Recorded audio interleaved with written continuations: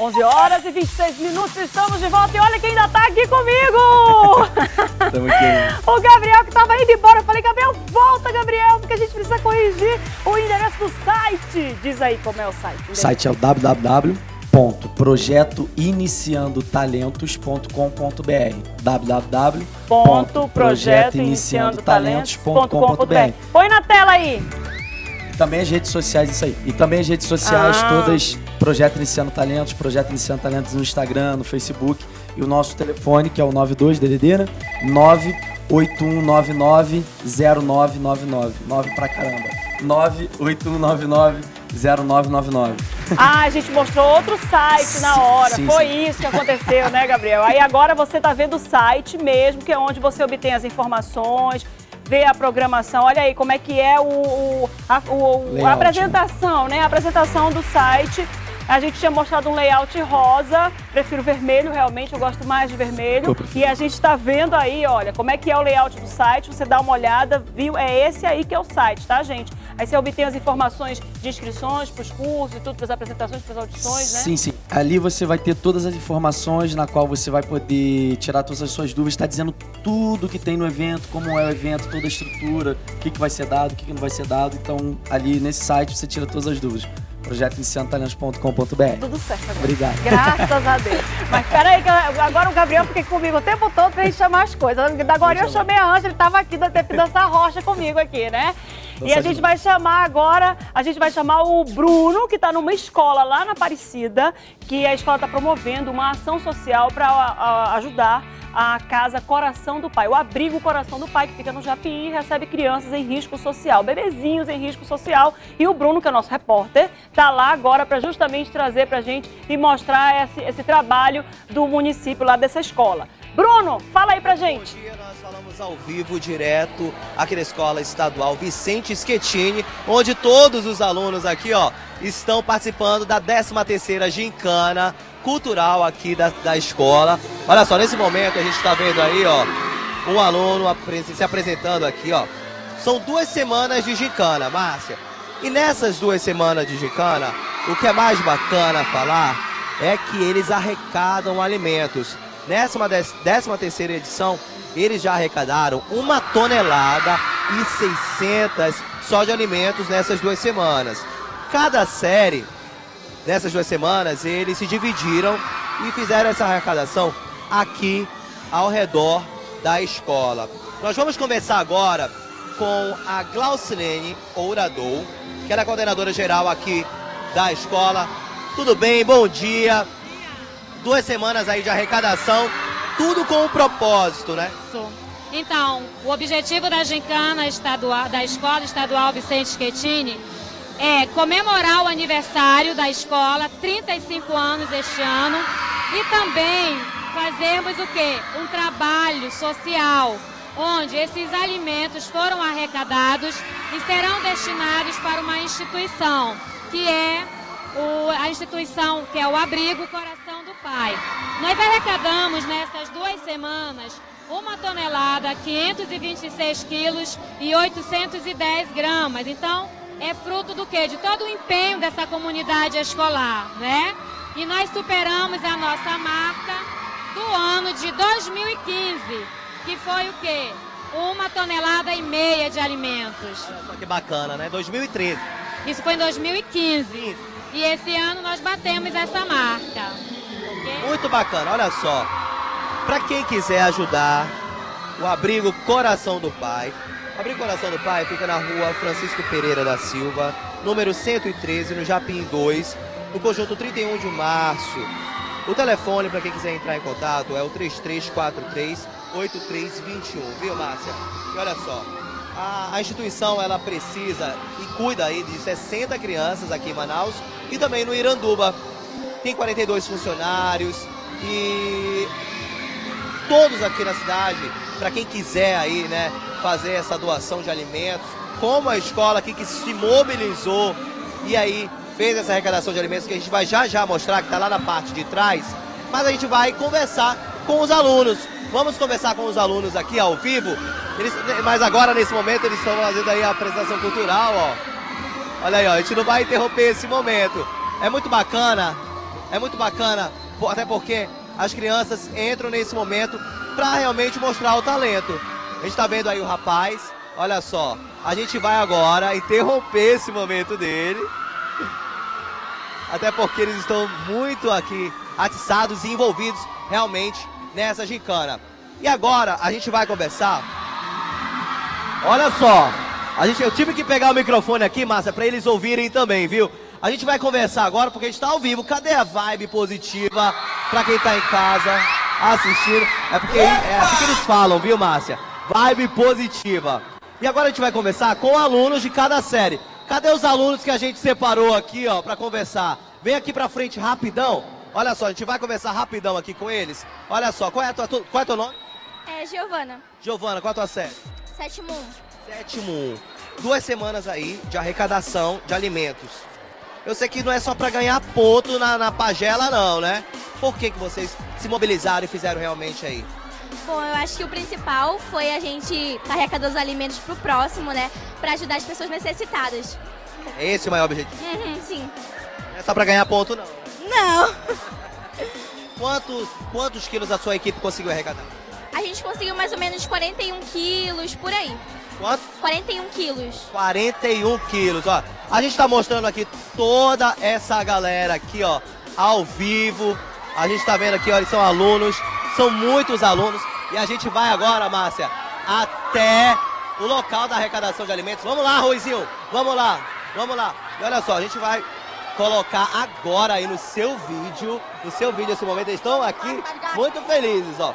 Olha só, nesse momento eu quero mostrar para você o Abrigo Coração do Pai, fica na rua Francisco Pereira da Silva, no Japim 2. Para quem quiser fazer sua doação, pode doar também aí na, no Bradesco, né? Na conta Bradesco, na conta na agência 3715, a conta corrente 23 535 dígito 0 e é só fazer sua doação que com certeza vai ser bem recebido, viu, gente? O telefone é 3343-8321. Vamos lá mostrar rapidinho a arrecadação dessa galera bonita? Olha só, a gente está ao vivo aqui na Vicente Schettini, é a escola estadual aqui no bairro da Aparecida, ao vivo no programa da comunidade. Nós vamos até agora mostrar os alimentos que vão para a instituição.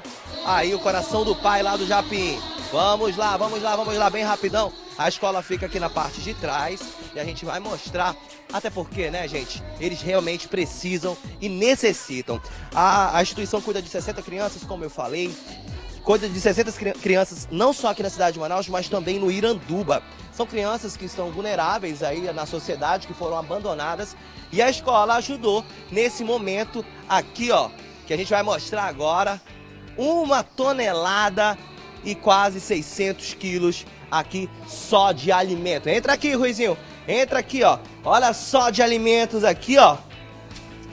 E é isso. É isso que realmente a criançada vai receber e valeu todo o esforço de toda a turma aqui, né, da, da, da, Escola Vicente e também, né, as pessoas do Abrigo Coração do Pai, que a gente vai dar uma palavrinha rapidamente com ela. Como é que é seu nome? Isabel. Tudo bem, Isabel? Quanto tempo? Né? Quanto tempo? Vem cá, rapidinho. Vem cá. Então, para quem quiser fazer doação, já dei aí todos os contatos. Vai tudo pro coração do Pai, aqui em Manaus e no Iranduba. Poxa, maravilhoso, né? É muito bom saber que tem pessoas de bom coração que estão sempre dispostas a nos ajudar. Né? Ajudar crianças e adolescentes que estão lá conosco, que tiveram seus direitos violados, mas que hoje eles podem olhar e ver que há uma luz no final do túnel. Então estamos muito felizes pela grande doação aí que a Escola Estadual Vicente né, está fazendo com certeza vai vir só somar, vai vir nos ajudar muito. Estamos muito gratos, tá? Tá certo, então já tá, tá passado número, endereço, conta. E olha só, Márcia, as crianças lá do abrigo e da instituição Coração do Pai vão estar muito felizes com essa arrecadação e com esses alimentos. Eu tô muito feliz tá, nesse momento, viu? Eu volto com você no estúdio, Márcia. Boa sexta-feira, bom de fim de semana para todo mundo, hein? Tchau. Obrigada, bom fim de semana, mas amanhã a gente está aqui de plantão, viu? Não se empolga não que amanhã a gente está aqui de plantão. Gente, olha só, eu já fiz uma reportagem lá no Abrigo Coração do Pai. É uma família maravilhosa. É um casal lindo, com um monte de filho lindo, que toma conta de um monte de criança, dá, um, dá amor para essas crianças e cuidam dessas crianças. Crianças que foram retiradas das famílias delas por causa porque elas estavam em perigo social.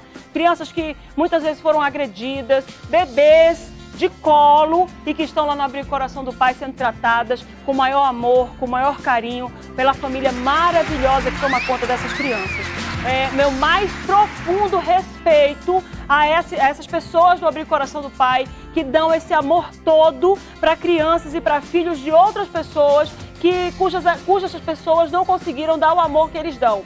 Então eu quero dar aqui, deixar aqui registrado meu respeito para essa família, meu respeito para todo mundo lá do Abrir Coração do Pai, todas as pessoas que trabalham com essas crianças. E aqui está o contato para quem quiser colaborar e quem quiser ajudar.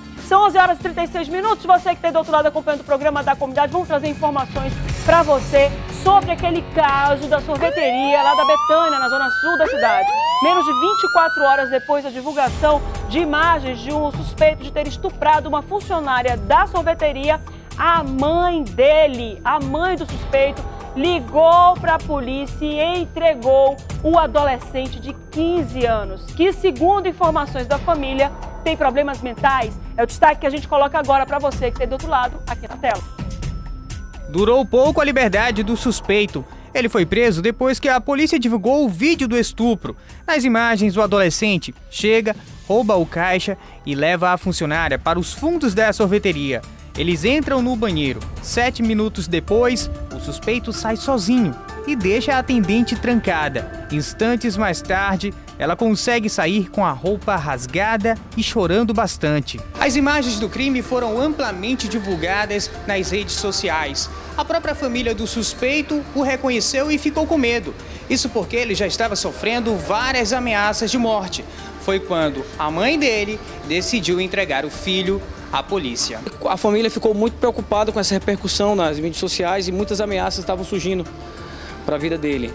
E quando eu cheguei lá, eh, o irmão dele acabou seguir a página, confiava no trabalho da Polícia Militar. E deixei o telefone e quando foi agora à tarde, a mãe dele me liga, querendo, dizendo que ele queria se entregar.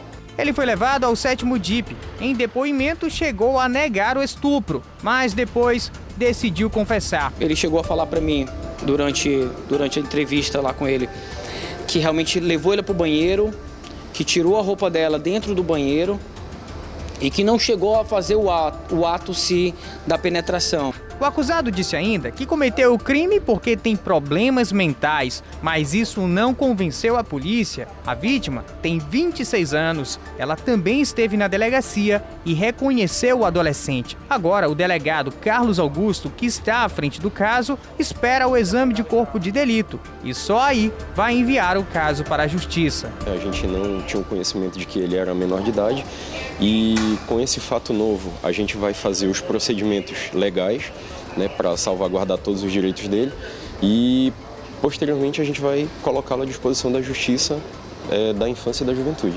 Enquanto isso, o adolescente que não tem passagem pela polícia vai ser levado ao Centro Socioeducativo da Guimar Feitosa.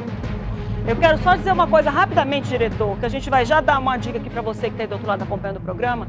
Eu quero dizer para esses pais, porque ontem quando a gente estava aqui comentando, eu cheguei a dizer que ele, que, uma pessoa que faz uma situação como essa, que tem um comportamento como esse aí, não sei se tinha mãe, se tinha pai, se tinha irmã, porque se tivesse algum amor por qualquer tipo de por outra mulher da família dele, não teria trazido tanto sofrimento tanta tristeza para essa moça.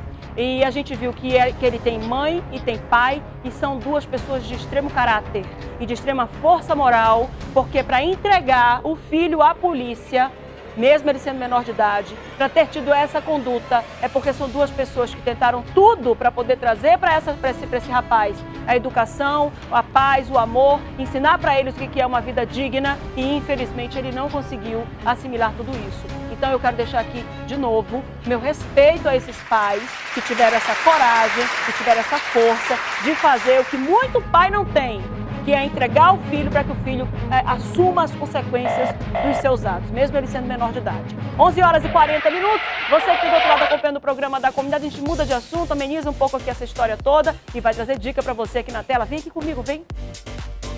Gente, olha só, se você ou sua família sofrem com os sintomas da tosse com secreção, o melhor é tomar Sedavan Xarope. Sedavan é um expectorante adulto e infantil com tripla ação Sedavan combate a tosse, elimina a secreção e, e diminui aquela irritação da garganta. E tem mais, Sedavan xarope possui sabor agradável e não tem açúcar, sendo também indicado para pessoas com diabetes. Sedavan xarope é produzido com as melhores substâncias, por isso age muito mais rápido na eliminação do catarro, descongestionando os brônquios e as vias respiratórias. Agora você já sabe, para acabar de vez com aquela chatice da tosse com o catarro, Sedavan xarope. Sedavan está à venda em todas as farmácias do Brasil, mas a preços promocionais na rede de drogarias Farmabem. Agora, ao chegar à farmácia, se lhe oferecerem outro produto, não aceite. Exija Sedavan. 11 horas e 41 minutos. Você que está aí do outro lado acompanhando o programa da comunidade, fica ligado. Você vem cá comigo aqui mesmo, diretor. É, né? Vem cá, vem cá, vem cá. Isso, mais um pouquinho, tá bom? Isso, parou, tá bom aí, diretor? Tá ótimo. Olha, você que está do outro lado acompanhando o programa da comunidade, continua ligado com a gente. A gente está aqui falando com o Lúcio. Tudo bom, Lúcio? Bom dia, Lúcio tudo Silva, bom? tudo bem? Prazer. Depois de um ano, vim aqui no programa É, de né? volta, né? Pra gente falar do que... de semana. É. Vasco, que show. É Legal, a Vasco, né, gente vai tá. aqui. é, nós estamos realizando a peneira amanhã de manhã, de 8 às meio-dia, no campo da Faculdade Nil- Newton Uhum. No Parque da Laranjeira. E nós estamos trazendo um ex-amigo, o Tinho, ex-jogador do Vasco, que vem a Manaus fazer uma peneirada aí com as crianças para escolher é, de 14 até 21 anos, que é infanto juvenil, juvenil e juniores, e dá oportunidade. Nós tivemos ele teve aqui há dois anos, levou um atleta, né? E não só isso, também nós temos eh, mês que vem nós vamos fazer uma outra peneira com o ex-campeão mundial Edgley também aqui no campo da Newton Nis. E isso é uma oportunidade para o futebol amazonense revelar. Eh, você acabou de falar de um jovem que infelizmente foi triste. E o projeto Atleta com Cristo, hoje, ele é o maior projeto social do Estado. Nós estamos trabalhando com 1.200 famílias. Multiplicando isso, estamos em 14 municípios. Agora mesmo, esse Vai ter de- também peneira no interior do estado. não, estão vindo alguns meninos do de. Manacapuru, Itacoatiara, Elvira, Silves. Alguns desses meninos que fazem parte do projeto, eles vão participar. Mas essa peneira, ela está aberta para todo, qualquer atleta independente. Essa peneira que vai acontecer amanhã. Amanhã no campo da Newton Lins. Então, quem sabe, quem acha que quem, quem joga futebol, joga muito futebol, pode aparecer lá, que vai poder se inscrever É, na hora. Na hora, leva carteira de identidade ou resiste se for de menor e um responsável, leva um, paga uma taxa de 30 reais e um quilo de alimento não perecível, que esse alimento vai servir para nossas crianças pobres de Manaus, porque nós trabalhamos em vários pó- eh, polos de Manaus, tirando, resgatando da droga, da prostituição, Tirando da rua. da rua, né? Eu acho que se a gente trabalhasse, poder público trabalhasse na prevenção, eu acho que a gente não teria tanto jovem na droga, na prostituição como a gente vê.